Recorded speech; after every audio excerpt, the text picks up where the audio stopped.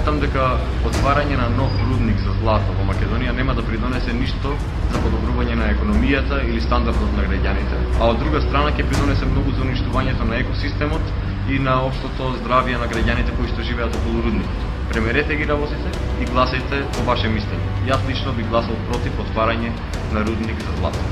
Поддржувам иницијативата Стоп за рудникот на смртта во Иловица Немаме право на идните поколенија да им оставаме уништена животна средина и потенцијал за разни тешки болести.